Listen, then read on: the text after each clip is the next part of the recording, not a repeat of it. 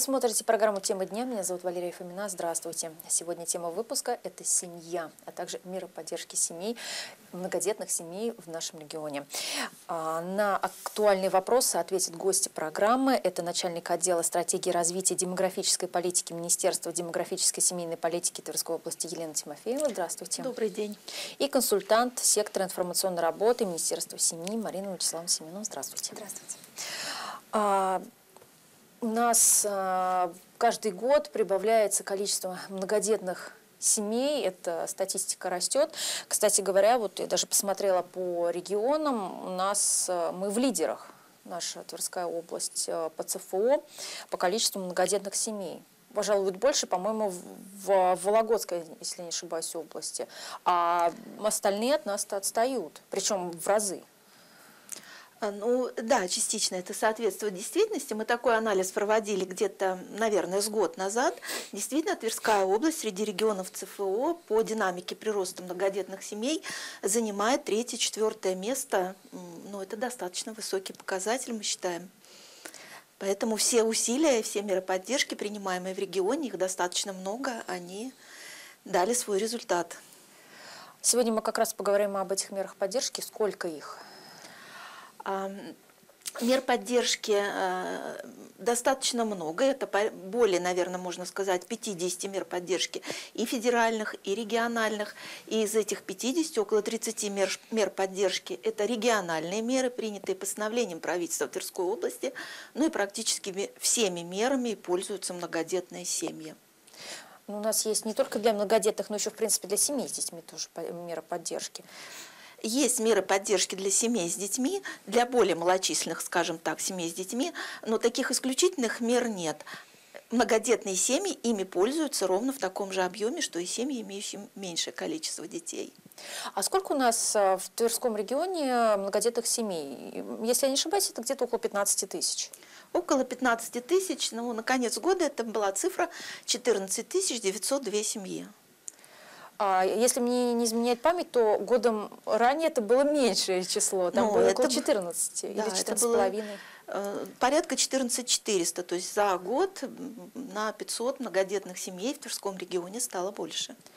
Это довольно-таки серьезная Существенно, динамика. да. И насколько я помню, может быть, конечно, это не совсем верная э, цифра статистики, но э, по количеству рожденных третьих детей, четвертых детей мы тоже в лидерах. Ну да, все, естественно, многодетная семья в Тверском регионе – это семьи, воспитывающие трех и более несовершеннолетних детей. И поскольку количество этих семей растет только за счет рождений третьих, в основном третьих 80% – это третье рождение, ну и чуть меньше там четвертое и пятое, но они есть, и их немало. А, одна из мер поддержки, я думаю, что многие, кто вот рожали не так давно, да, семьи, где появились э, детки, получали такой подарок. А, всем рожденным в Тверской области полагается так называемая подарочная коробка с ценным содержимым. На самом деле эту коробку обсуждают не только у нас в Верхневолжье, но и далеко за пределами. Э, в социальных сетях мамочки из других городов вот в пример даже ставят нашу коробку, и можно сказать, что в чем чем-то мы даже лучше и Московской области. Вот, по количеству предметов, а главное э, по тому, как они подобраны. Марина Вячеславовна, скажите подробнее вот, о подарочной коробке, кому ее дарят, где ее можно получить, сколько уже получили ее? Данная мера поддержки в Тверской области введена с октября 2019 года. Введена она по инициативе нашего губернатора Игоря Михайловича Рудени в рамках национального проекта «Демография». С этого времени уже было выдано более 39 330 подарочных наборов. А сейчас этот подарочный набор состоит из 70 предметов, всего 60 наименований. А, это один из самых больших действительно подарочных наборов для новорожденных в Центральном федеральном округе. Он э, составлялся с учетом мнения граждан. Э, вопросы проводились как в социальных сетях, так и проводились непосредственно беседы с представителями родительского сообщества. Мамочки, конечно, свои пожелания высказывали, все они были учтены. Не раз эта мера поддержки совершенствовалась. Подарочный набор укомплектовывался все новыми и новыми предметами. Так вот, например, на 10 предметов стало больше в 2022 году. Среди нововведений, например, добавился пеленальный коврик, постельные принадлежности, термосумка. Все очень такие важные предметы. Все, что нам посоветовали как раз молодые мамочки, которым действительно эти предметы были необходимы. Все это было учтено. Подарок был дополнен. Было еще очень хорошее такое пожелание. Это детская книжка. И, конечно, ее мы тоже с удовольствием исполнили. Это пожелание у нас появилась замечательная книга, цветная, красивая, наполненная пейзажами узнаваемыми тверскими, э, детскими рисунками. И в ней э, стихи, стихи как известных российских поэтов, таких как, например, Агния Барто, э, стихи тверских поэтов, Гайда Лаксдень, например. Также туда, в этот сборник, вошли стихи, которые написали сами наши тверские жители. Был проведен для этого специальный конкурс. Э, лучшие были отобраны в этот сборник. Э, вошли также детские потешки, э, колыбельная. Действительно очень интересная книга получилась. И вот она стала 70-м предметом, который у нас уже с 2023 года вошел в состав подарочного набора. Подарочный набор выдается всем э, тем, кто рожает ребенка и регистрирует его на территории Тверской области. Это самое важное условие регистрации в Тверской области. Э, что еще? Выдаваться этот набор выдается либо при регистрации в органах ЗАГС Тверской области. Там есть торжественная Торжественная. А, либо в МФЦ, также при регистрации ребенка. Если родители по каким-либо причинам не получили этот подарочный набор при регистрации в органах ЗАГС или при регистрации своего ребенка на территории Тверской области в МФЦ, а, ну, кстати, да, можно же еще и в родильном доме получить, если там регистрируется регистрируется органами ЗАГС. Есть, да. да, если Сотрудник там, на удаленной да, работе. Там тоже можно получить коробку подарочную. И э, если в данных э, местах э, коробка не получена, тогда можно обратиться в отделение по работе с семьей и детьми семейных центров Тверской области, и уже можно до исполнения ребенку трех месяцев получить подарочные наборы именно там. Вот такие у нас условия для получения подарочного набора. Ну, на самом деле, мы тоже, наша съемочная группа неоднократно так сказать, проводила распаковку такой коробки. А, и э, там были и вещи, и нужно отметить, что некоторые произведены в Тверской области. В Тверской области одежда. большинство было производится, порядка 47 предметов. Это тверские производители, это и Вышневолодские, и Ржевские, и Тверские, да, действительно это так. Там и все подобрано именно по возрасту, то есть на такой-то по размер, цвету, такой-то. Да, все старались пастельных таких тонов, не броских, не ярких, не марких. Все очень красиво, очень нарядно. И сколько бы мамочек мы не спрашивали, сколько бы интервью мы в интервью не интересовались, и не было ни одного просто какого-то вот замечания. Все очень были в восторге, что это своего, своего рода такая вот э, подспорье хорошее, особенно на начальном этапе. А если вот говорить о стоимости этой коробки, такой щекотливый немножко вопрос, но тем не менее у всех волнует. Ну, стоимость коробки в этом году, конечно, она будет увеличиваться с учетом увеличения стоимости самих предметов, но вот сейчас это порядка 16 1800 рублей. И э, сейчас еще один вопрос, касающийся семьи с детьми, это социальные выплаты. Вот расскажите поподробнее, что это за мера поддержки, на кого рассчитана. А, да, действительно, на территории региона с 2019 года осуществляется такая а, высоко востребованная, я бы даже назвала мера поддержки, предоставляемая в виде социальной выплаты на погашение ипотечного кредита и процентов по ипотеке при рождении детей. Значит, эта мера поддержки предоставляется на определенных условиях семьям, в которых э, родился ребенок или дети родились после 1 января 2020 года. И жилье приобретено после 1 января 2020 года, и на, на этот момент, на момент рождения ребенка, семья имеет заключенный договор ипотечного кредитования, имеет определенные обязательства перед кредитной организацией. Семья на этот момент, супруги состоят э, в официальном зарегистрированном браке, ну, если это полная семья, если не полная, значит не полная. То есть вот основные такие условия, то есть рождение ребенка после 1 января 2020 года при наличии договора ипотеки и супруги в зарегистрированном браке. Есть и другие обязательные условия, а, при которых предоставляется эта мера поддержки. Прежде всего, это возрастные ограничения. Хотелось бы отметить, что есть такое ограничение. Возраст одного из супругов должен быть не более 35 лет включительно. Возрастные ограничения отсутствуют только лишь для многодетных семей. Еще раз повторюсь, это для семей, в которых воспитывается трое и более несовершеннолетних детей. Одним из условий является также период проживания на территории Тверской области. Для э, большинства семей это не менее проживание родителей, проживание супругов в регионе не менее 15 лет каждым из родителей, каждым из супругов.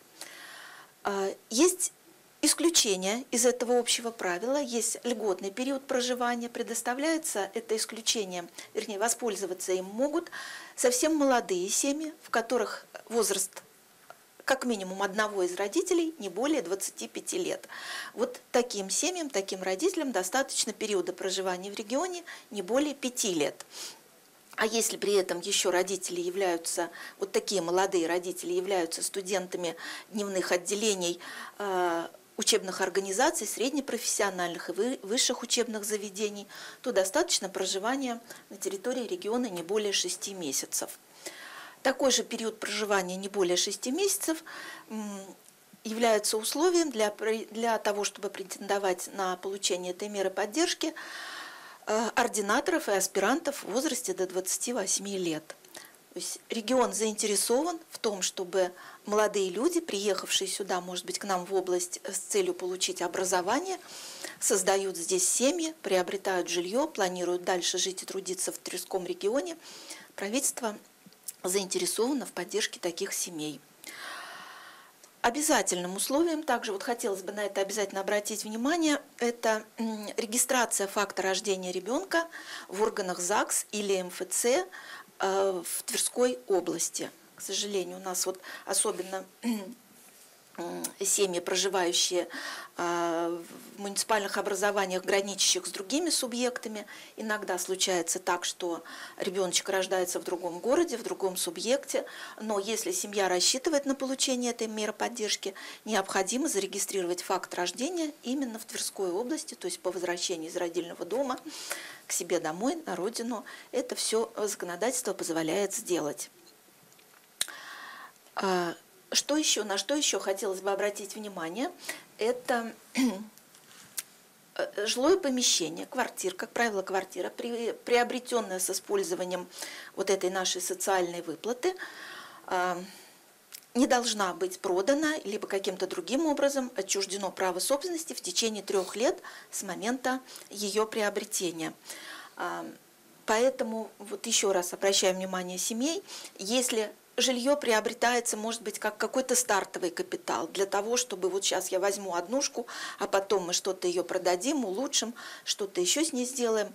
Возможно, и улучшите, но в этом случае социальную выплату на ипотеку полученную придется вернуть в доход областного бюджета. А спустя три года? А спустя три года, да, можно уже с, этим, с этой квартирой, с этим жильем производить любые действия, то есть расширять вот. можно Расширять года. можно, продавать можно, переезжать можно из региона, но в течение трех лет вот это надо хорошо подумать. Возможно, и иногда и не спешить за получением этой меры поддержки, если еще планирует семья дальше улучшение жилищных условий. Конечно, лучше подождать и воспользоваться чуть а позже. Каков размер этой социальной выплаты? Размер социальной выплаты. Э, значит, при рождении первого ребенка предоставляется социальная выплата э, в размере 200 тысяч рублей, второго ребенка это 300 тысяч рублей, и при рождении третьего и последующих детей это 500 тысяч рублей. То есть тоже вполне себе неплохое подспорье. Вполне себе неплохое, тем более, что обратиться за этой социальной выплатой можно несколько раз. Если в семье появ... еще появляется а, ребенок, рождается еще один ребенок, можно повторно обратиться за получением этой выплаты. Угу. А, еще у нас же есть региональный материнский капитал. Вот расскажите поподробнее о нем. Кому, а, кому. Кто может на него рассчитывать, для кого он да, региональный материнский капитал – это мера поддержки, действует уже на протяжении более 10 лет. Он выплачивается в Тверском регионе с 2012 года. Предоставляется эта мера поддержки при рождении в семье третьего либо последующего ребенка, если ранее семья не воспользовалась этой мерой поддержки. Все-таки на сегодняшний день региональный мат-капитал предоставляется один раз. Это единоразовая мера поддержки. А, Э, в нашей области предоставление этой меры совершенно не зависит от доходов семьи, от нуждаемости семьи, в отличие от многих других регионов, где такие, в общем-то, условия есть. Но обязательным условием получения материнского капитала на сегодня является также э, регистрация факта рождения ребенка в органах ЗАГС или в МФЦ Тверской области. А, ну, вот уже говорила более подробно. Значит, это одно из условий. Ну и, естественно, ребенок, родители не должны быть лишены родительских прав, ребенок не оставлен в медицинском учреждении, ну и так далее. Вот такие вот обязательные условия. А, размер материнского капитала у нас ежегодно индексируется, э, традиционно с началом нового календарного года. В этом году размер также был проиндексирован на 7,4%, он был увеличен. И на сегодняшний день его размер составляет 82 737 рублей. На, чем, на что его на можно, что можно потратить? потратить? Да, э, но здесь тоже достаточно уже стабильно все сложились, сложилось законодательство, направление расходования материнского капитала, прежде всего на улучшение жилищных условий. То есть его можно потратить как на, на уплату первоначального взноса по ипотеке, на погашение основного долга по ипотеке, процентов по ипотеке, потратить эти средства можно также на строительство и на ремонт коммуникаций. При необходимости это э, и водопровод, и газопровод, электрические сети и так далее.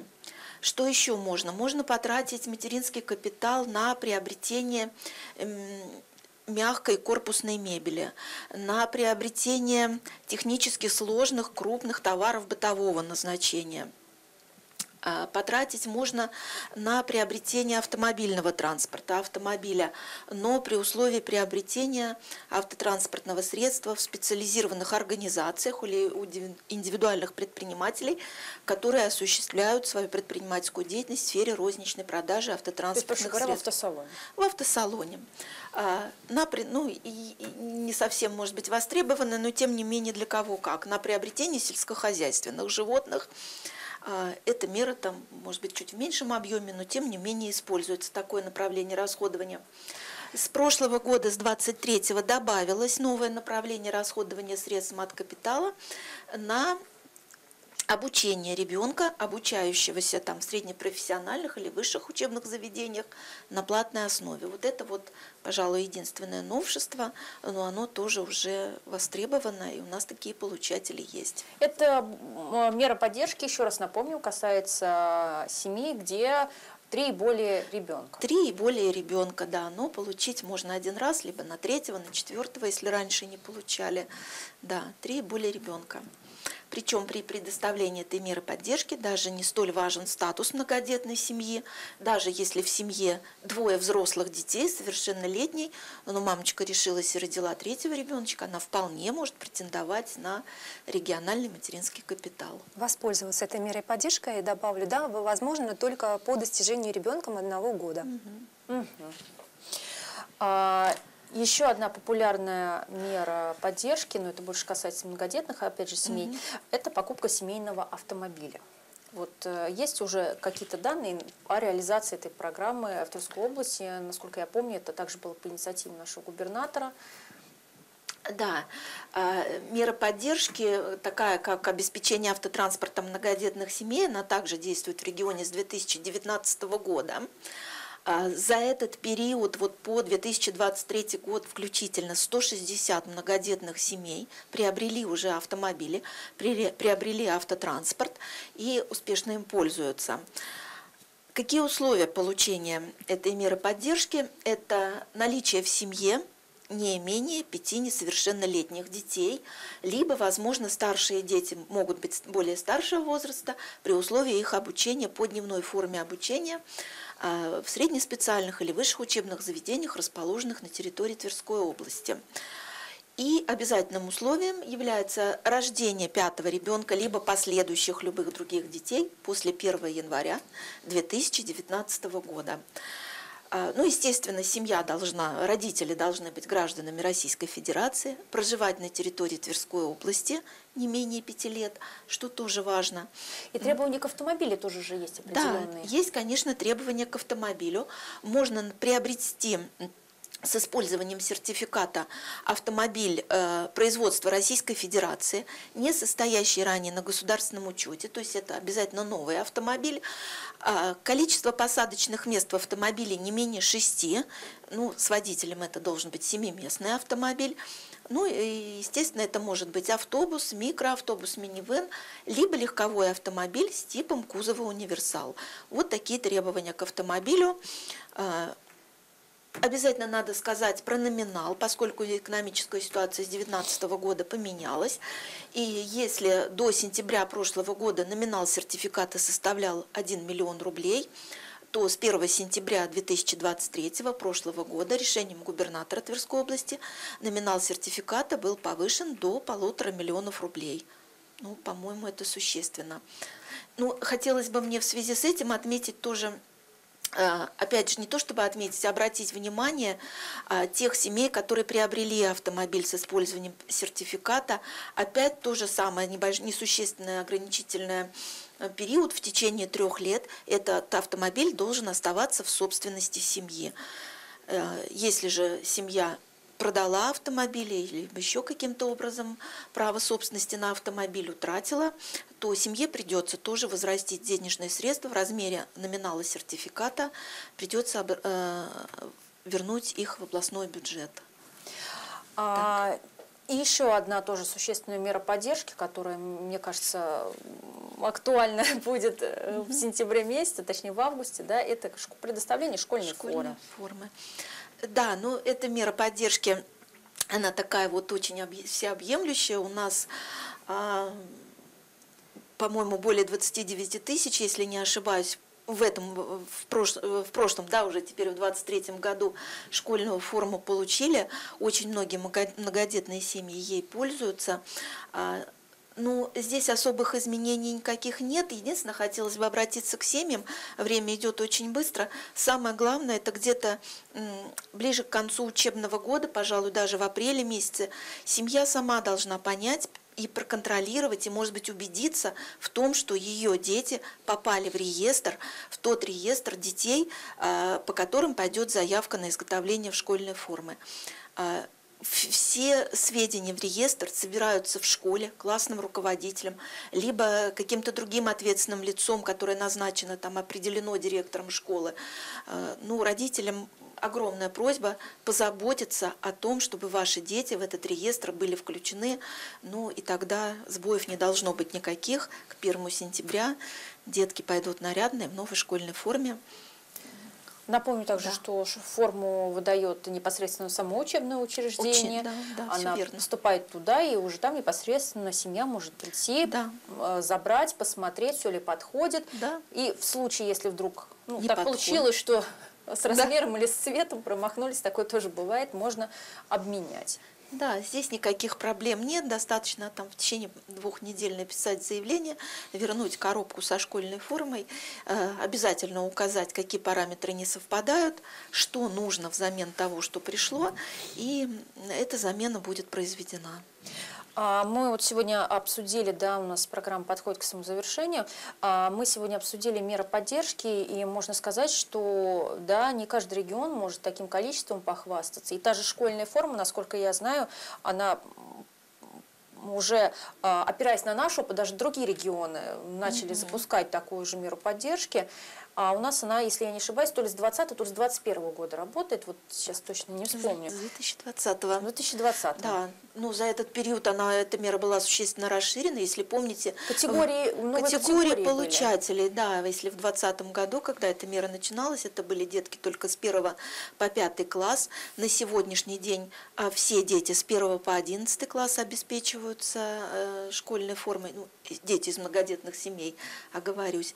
А Вот. Ну и к этой категории добавились также семьи, в которых трое деток, в том числе опекунские дети, воспитываются, их тоже обеспечиваются школьной формой. А школьная форма полностью соответствует э, тому Да. стандарту, который, допустим, в том или ином учебном заведении ничем абсолютно не отличается. Ничем не отличается. Более того, она соответствует всем ГОСТам, всем требованиям, предъявляемых к одежде для детей. Они достаточно высокие, поверьте, это натуральные ткани, высокий состав их. И это все выдерживается и строго контролируется. На самом деле это тоже довольно-таки серьезное э, подспорье, когда тебе троих детей нужно собрать в школу, а комплект э, стоит э, ну, тоже существенно для семьи, как бы, Конечно. особенно для многодетной. А, И, наверное, можно сказать, что все меры поддержки да, дали вот такой вот результат, что мы рвемся уже в лидерство по ЦФО, учитывая Да. нашу статистику. Тем более, что это далеко не все меры, у нас их гораздо больше. Ну, мы И- самые основные Ну, мы обсудили, самые основные с вами, популярные, да, которые да, да, да. постоянно у нас на слуху. Это была программа «Тема дня». Напомню, что сегодня мы обсуждали тему семьи, а также поддержку семей с детьми и многодетных семей в том числе. А, В гостях у нас были а, начальник отдела стратегии развития демографической политики Министерства демографической и семейной политики Тверской области Елена Тимофеева и консультант сектора информационной работы Министерства семьи Марина Вячеславовна Семеновна. Спасибо большое. На все актуальные вопросы мы ответили. Меня зовут Валерия Фомина. Я с вами не прощаюсь. Всего доброго.